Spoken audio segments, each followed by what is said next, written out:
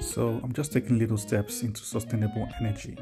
And these are 100 watts solar panels. And I am charging this is a one um, one kilowatts uh, power station. And it is charging let me see if you can see it. So much reflection. Okay yeah.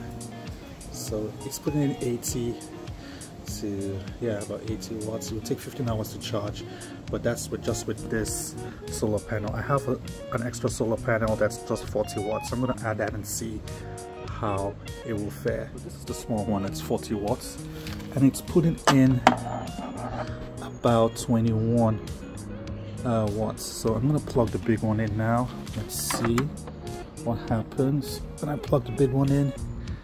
And we have jumped to it's almost 100 watts so that's 96 it would take 13 hours to charge.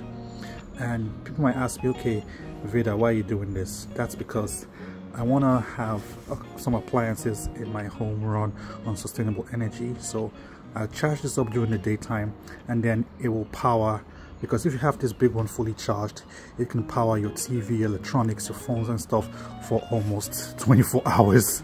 So yeah charge during the day and then you use free energy at night which is uh, quite sustainable. I was able to get this to 32% from the solar panels and that was a couple of hours to be honest. And now I'm using that charge that's been saved here uh, and uh, using the inverter to power my 3D printer. So basically using the power of the sun to 3D print uh, stuff for my Etsy shop. So uh, I think these are baby steps into using sustainable energy, uh, but uh, I think I'm going to love this journey.